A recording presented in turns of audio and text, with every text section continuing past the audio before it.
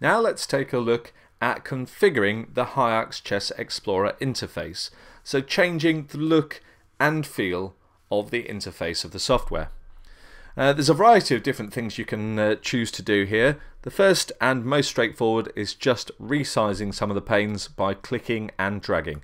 So let's go over here to the notation pane and as you can see as you pass your mouse over the edge it just changes when it gets right to the edge. If you click at this point and then drag, so if I drag to the left you can see that the notation pane is changing in size.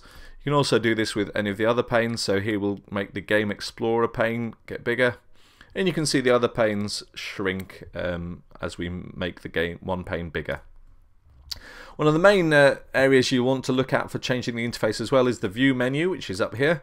You can uh, close or open any particular pane, so if we uh, close for instance the Game Explorer pane, which is down at the bottom, click here, that closes the Game Explorer pane, and you can see that the other panes then resize to fill in that space. So you get a nice big board. And again you can uh, mess around with the size of the notation pane until you get a really really large board if that's what you'd like to have a look at. We can even turn off the Analysis Explorer, close that pane.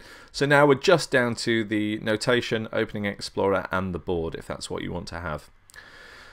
You can actually change the uh, pieces and the board colors by going to this button here which is the um, options, the preferences. You can see here's the board tab so we can change the um, colors here, for instance the colors of the highlighted squares or the board style. So if we change it from light wood say to uh, sky blue you get that nice bluey grey color that many people like. Click OK will change that. You can also do it by clicking on apply here but clicking OK changes that board color. If we go back into that window You'll also see we can change the chess set. So we're on light uh, alpha at the moment. We can change to Merida. I click there, click apply. You can see that the chess set's changing.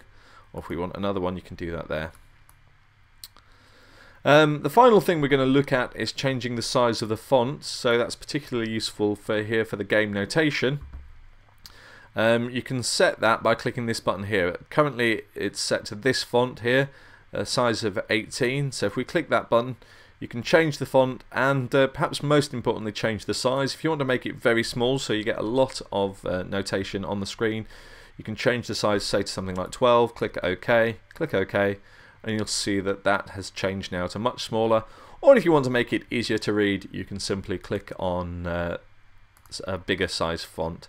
So let's go to something like 24 or if we drag down 36, make it very big font indeed. Click OK, OK, and you'll see that the font's got much bigger. So there you go, just a, a, a, few different ways that you can change the look out and feel and you should play around with some of these options until you get the look and feel that you're happy with.